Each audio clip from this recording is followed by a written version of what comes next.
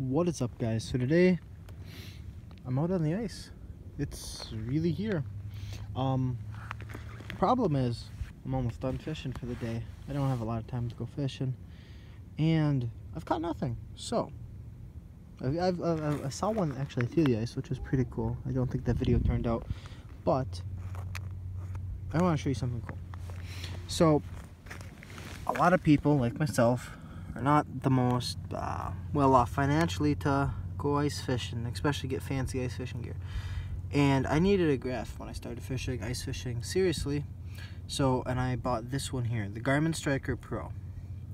It's a little bit dusty. I have it in a box. I don't have it in a full setup yet, but I got this last year, and it is an amazing uh, uh, piece of uh, tech, ice fishing uh, uh, sonar the Striker 4, as you can see it's on right now, um,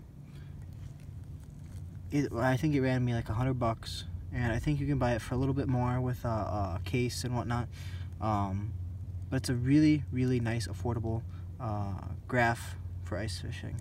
Um, so to start off of course runs off a, a battery I picked that one up at a bait shop and uh, you can pick them up at any battery shop. Uh, transducer that comes with it, the transducer that is with it is one for a bolt, but as long as you have it sticking just like this, straight up and down, you can uh, use it through the ice. So, first of all, when you start it up, it's going to look like this here. It's going to have a home page. And the home page here has a lot of options. But the two main options that ice fishermen are interested in is the traditional graph, as you can see what I use. Um, bounce up my rod here, you can see that the uh, line's going. And the flasher, which is like a Vexilar. Uh, some people prefer this, some people prefer the other way.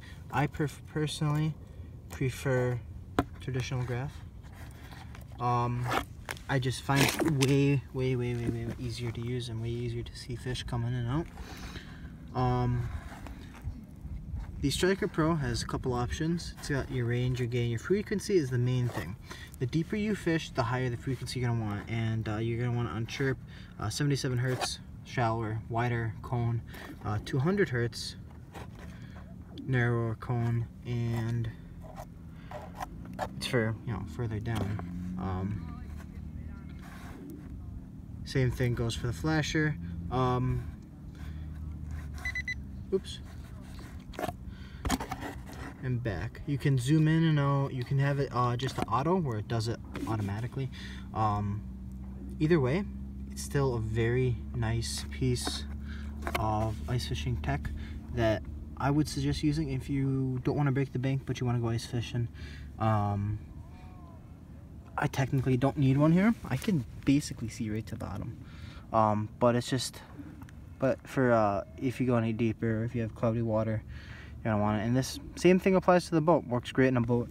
Um, yeah. Well, thank you for watching, guys. I will hopefully actually catch a fish one of these days. School's almost done.